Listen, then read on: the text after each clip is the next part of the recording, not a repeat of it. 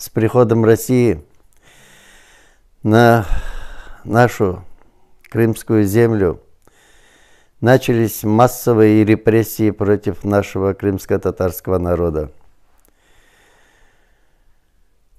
Начали пропадать люди. Многих нашли мертвыми.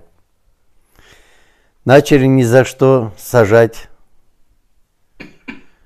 детей нашего народа по 18-15 лет тюрьмы ни за что. На сегодняшний день уже начали придираться к адвокатам и сажать их на 10-12 суток. Тоже по напридуманным обвинениям.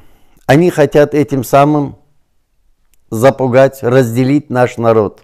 Наш народ понимает это и еще больше укрепляется наш народ.